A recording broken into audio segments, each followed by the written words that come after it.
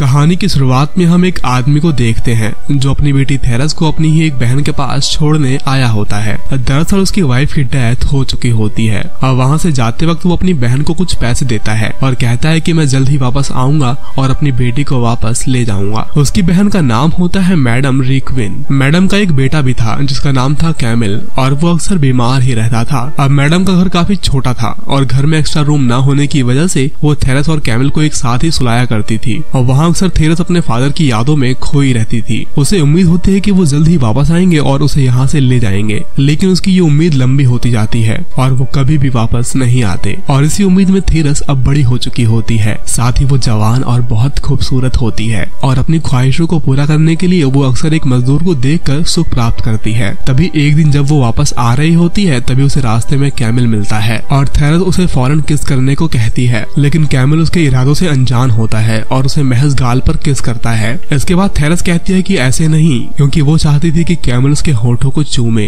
लेकिन तभी वहाँ मैडम आ जाती हैं और वो थेरस से कहती है कि तुम्हारे डैड अब इस दुनिया में नहीं रहे। इसके कुछ दिनों बाद कैमिल को जॉब मिल जाती है, इसलिए अब वो सभी पेरिस शिफ्ट हो रहे हैं। लेकिन वहाँ जाने से पहले मैडम थेरस से बताती है की तुम्हारी शादी कैमिल से होने वाली है। लेकिन अब थेरस के पास कोई भी रास्ता नहीं होता, इसलिए उसे ना चाहते हुए भी शादी के लिए हाँ कहना पड़ता है। और इसके बाद वो तीनों ही पेरिस पहुँच जाते हैं। जहाँ कैमिल अपनी जॉब में ही बिज़ी हो जाता है, लेकिन थेरस इस शादी से जरा भी खुश नहीं होती। उसे ऐसा महसूस होने लगता है कि शायद वो किसी जेल में बंद है। कैमिल भी अपनी जॉब में पूरा दिन बिज़ी रहता है और खुश न रहते हुए भी वो अपनी जिम्मेदारियों को निभाता है। एक रात जब वो घर आता है तो थेरस उसके साथ इंटीमेट होना चाहती थी, लेकिन कैमिल को तो इन सब में जरा भी दिलचस्पी नहीं थी, क्योंकि वो बचपन से ही बीमार था। अगले ही दिन कैमिल अपने बचपन के दोस्त लॉरेंट को घर लेकर आता है, जो कैमिल के साथ ही उसके ऑफ़िस में काम करता है। और मैडम भी लॉरेंट को देखकर पहचान लेती हैं और वो उसे वहाँ देखकर बहुत खुश होती हैं। लॉरेंट एक आर्टिस्ट था जो पेंटिंग बनाने में माहिर था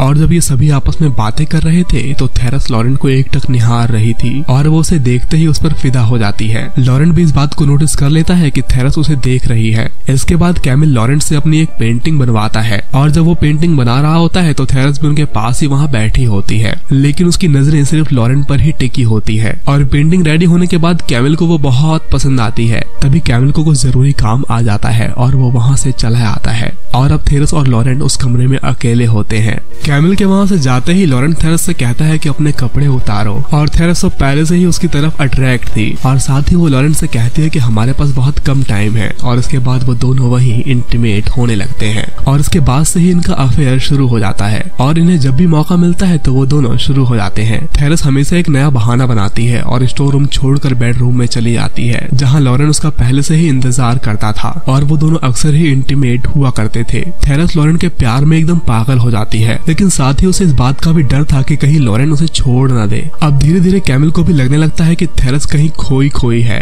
और वो उसके पास होते हुए भी उससे दूर जा रही है। इस पर लॉरेंट उसे कहता है कि तुम सिर्फ़ उससे प्यार करो और सब कुछ ठीक हो जाएगा। उस रात कैमिल बहुत हिम्मत जुटाकर थेरस के साथ इंटीमेट होता है, लेकिन थेरस को उसे जरा भी सुकून नहीं मिलता। अगले ही दिन जब थेरस और लॉरेंट अपना क्वालिटी टाइम बिता रहे होते हैं तभी उस कमरे में मैडम आ जाती हैं और उन्हें आता देख लॉरेंट थेरस के कपड़े में छुप जाता है। थेरस भी बहाना बनाती है कि उसकी तबीयत जरा ठीक नहीं है और यहाँ वो दोनों पकड़े जाने से बाल बाल बचते हैं। इसके कुछ दिन बाद कैमिल थेरस से कहता है कि हम गाँव वापस जा रहे हैं, क्योंकि उसे भी अंदर ही अंदर ये एहसास होने लगा था कि थेरस शहर में आने के बाद से ही उससे दूर होती जा रही है। लेकिन ये खबर सुनकर थेरस का दिल दहल जाता है, क्योंकि अगर ऐसा हुआ तो उसके प्यार का फूल जो पूरी तरह खिल चुका है, वो धीरे धीरे मुरझा जाएगा। उसी रात थेरस ये बात जाकर लॉरेंट को बताती है। इस पर लॉरेंट कहता है कि कैमिल को हमारे रास्ते से हटाने का अब सिर्फ़ एक ही रास्ता है। हमें उसे जान से मारना होगा। लेकिन ये सुनते ही थेरस को डर लगने लगता है। लेकिन लॉरेंट उसे समझाते हुए कहता है की जान तुम फ़िक्र मत करो। हम उसे इस तरह मारेंगे की वो एक एक्सीडेंट लगेगा। उस रात थेरस को नींद ही नहीं आ रही होती। और उसके दिमाग में यही बात घूम रही होती है की क्या ऐसा करना सही है या गलत।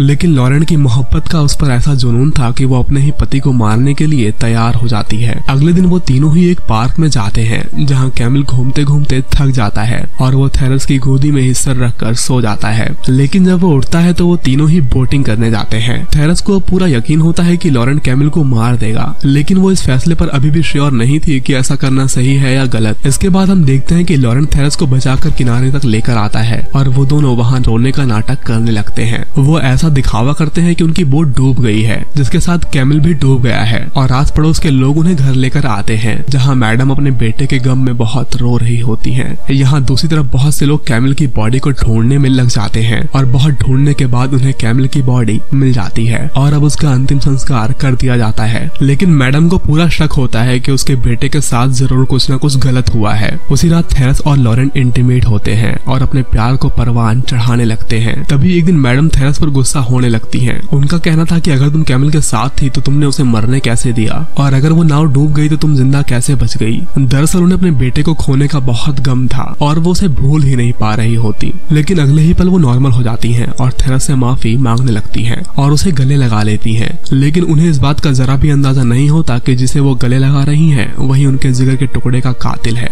यहाँ दूसरी तरफ़ थेरस भी अब रात में सो नहीं पाती, क्योंकि उसे रात में बहुत डरावने सपने आते हैं और वक्त के साथ साथ थेरस को अपनी गलती पर पछतावा होने लगता है। और साथ ही लॉरेंट का भी कुछ ऐसा ही हाल था, वो दोनों ही बहुत डरे हुए होते हैं। और वो आज की रात थेरस के साथ ही सोना चाहता था। थेरस लॉरेंट से कहती है कि चलो हम कहीं भाग चलते हैं, लेकिन लॉरेंट उसे मना कर देता है, क्योंकि उसकी नज़र कैमल की दौलत पर होती है। लेकिन थेरस कहती है कि कैमल की सारी संपत्ति मैडम के नाम पर ही है। इस पर लॉरेंट कहता है कि तुम ड्रामा करो, कि तुम्हें कैमल की बहुत याद आ रही है। और इसके बाद से ही थेरस रोने का ड्रामा करने लगती है, और उसके रोने की आवाज़ मैडम और उसके दोस्त सुन लेते हैं। और वो मैडम को सलाह देते हैं कि आपको थेरस की शादी कर देनी चाहिए, और अगर उसकी शादी हो जाएगी तो वो इस दुख को भूल जाएगी। साथ ही वो उसे सलाह देते हैं कि थेरस के लिए लॉरेंट से बेहतर कोई लड़का नहीं है, और मैडम भी उनकी बात मान लेती है। इसके बाद वो ये बातें थेरस और लॉरेंट को बताते हैं, और वो दोनों फ़ौरन शादी के लिए मान जाते हैं। शादी की रात लॉरेंट बहुत खुश होता है और कहता है कि मुझे इस रात का सालों से इंतज़ार था, लेकिन थेरस इस शादी से जरा भी खुश नहीं होती। उसे इस बात का पछतावा होने लगता है कि उसने अपने सुख के लिए अपने ही पति को मार दिया। साथ ही वो मैडम का दुख भी नहीं देख पा रही थी। अब वो लॉरेंट से पूछती है कि कैमिल की डेथ कैसे हुई थी। इस पर लॉरेंट कहता है कि तुम वहाँ पर मौजूद थी, लेकिन थेरस कहती है कि मैंने तो अपनी आँखें बंद कर ली थी। क्या वो बहुत तड़प कर मरा था? इसके जवाब में लॉरेंट कहता है कि नहीं, मैंने उसे आराम से पानी में डाल दिया था। इसके बाद उन दोनों में आपस में ही लड़ाई होने लगती है, और अब ये दोनों भी अपनी लाइफ में जरा भी खुश नहीं होते। ऐसे ही अब कई दिन बीत जाते हैं, लेकिन मैडम अभी तक अपने बेटे को नहीं भूल पाई थी। एक दिन जब वो पार्क में बैठे हुए थे तो अचानक उन्हें अटैक आ जाता है, और वो भी पैरालाइज हो जाती है। यहाँ लॉरेंट अब मैडम को भी मारकर उनकी प्रॉपर्टी हड़पना चाहता था, लेकिन थेरस मैडम को बचा रही थी। तभी एक दिन जब थेरस मैडम को नहला रही होती है, तभी थेरस और लॉरेंट के बीच लड़ाई होने लगती है और वो दोनों ही एक दूसरे को कैमिल की मौत का जिम्मेदार ठहराने लगते हैं और उनकी ये बातें मैडम सुन लेती हैं। यहाँ लॉरेंट पॉइजन खरीद लेता है, क्योंकि वो मैडम और थेरस दोनों को ही मारना चाहता था और यहाँ मैडम किसी तरह इंक से फर्श पर सच्चाई लिख देती है। ये लिखा हुआ मैडम की एक दोस्त देख लेती है और वो लोगों को बताने चाहती है। लेकिन जैसे ही ये खबर थेरस और लॉरेंट को लगती है, वो फिर से एक हो जाते हैं और वो दोनों ही मैडम को मारने का फैसला लेते हैं।